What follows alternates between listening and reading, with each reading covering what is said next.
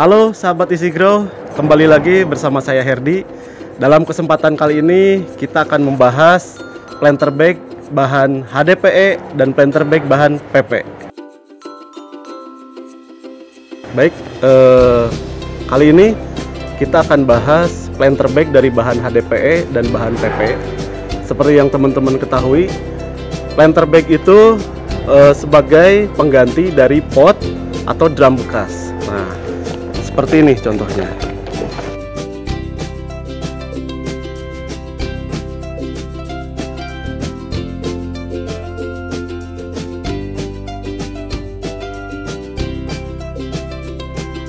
Baik, eh, seperti yang tadi saya informasikan, kita akan membahas planter bag dari bahan HDPE, bahan PP, dan ada satu lagi dari bahan non-woven.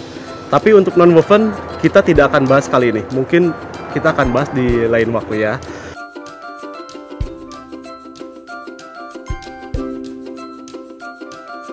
Oke. Eh, yang pertama, ini bahan HDPE.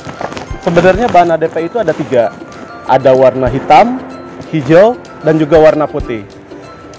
Cuman karena kita kebanyakan ordernya warna hijau dan permintaan pasar itu lebih banyak warna hijau dengan kelebihan dan kekurangan masing-masing, jadi kita produksi banyaknya pakai warna hijau. Nah, ini adalah bahan HDPE.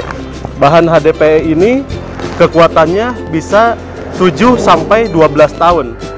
Bahkan ada testimoni dari beberapa konsumen yang sudah pakai itu bisa sampai 15 tahun. Bahan HDPE ini sangat kuat khususnya di cuaca ekstrim, baik itu iklim tropis ataupun ekstrim di cuaca panas.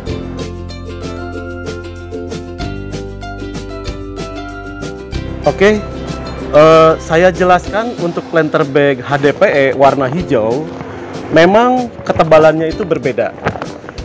Jadi saya infokan, ketebalannya itu dibagi menjadi dua untuk 75 liter ke bawah itu ketebalannya itu kita pakai 140 GSM dan 75 liter ke atas kita pakai yang 200 GSM kenapa kita bedakan? Karena mengikuti kapasitas dan kekuatan dari e, media tanam yang akan dimasukkan ke planter bag tersebut.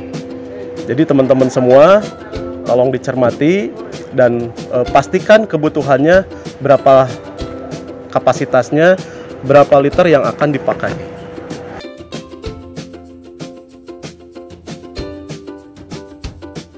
Baik, selanjutnya saya akan bahas planter bag dari bahan PP atau polyethylene. Ini contohnya. Bahan PP ini kami produksi sebenarnya ada dua warna, warna putih dan warna hitam. Tapi kembali lagi karena banyak permintaannya warna hitam dibanding warna putih, jadi kami banyak memproduksi warna hitam.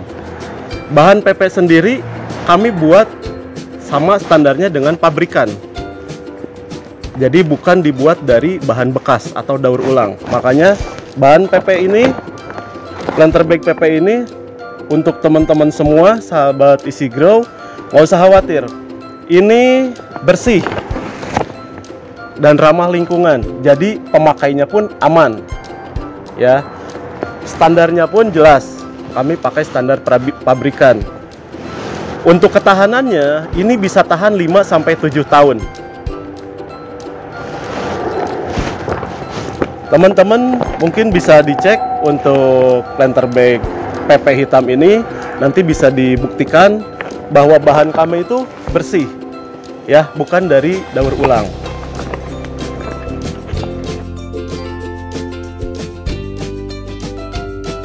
Baik, untuk bahan PP sendiri, teman-teman sahabat isi grow nggak usah khawatir. Karena kenapa bahan PP ini bisa kuat 5 sampai 7 tahun? Standarnya sama dengan bahan HDPE.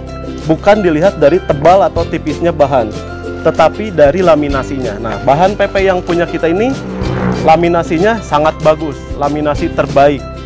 Ya, bisa tahan dari 5 sampai 7 tahun.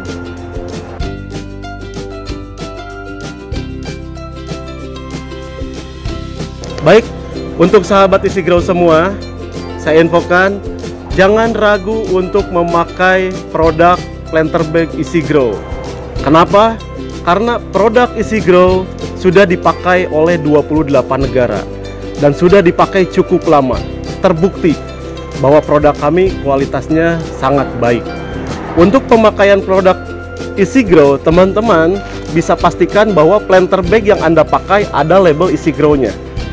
Ya, jadi untuk produk Easy Grow yang asli, teman-teman bisa cek ada label Easy Grow-nya. Baik, terima kasih buat teman-teman semua. Kali ini kita sudah bahas planter bag dari bahan HDP dan bahan PP. Kita akan bahas selanjutnya untuk produk-produk Easy Grow lainnya. Terima kasih. Selamat berkebun dan Easy Grow menghijaukan dunia.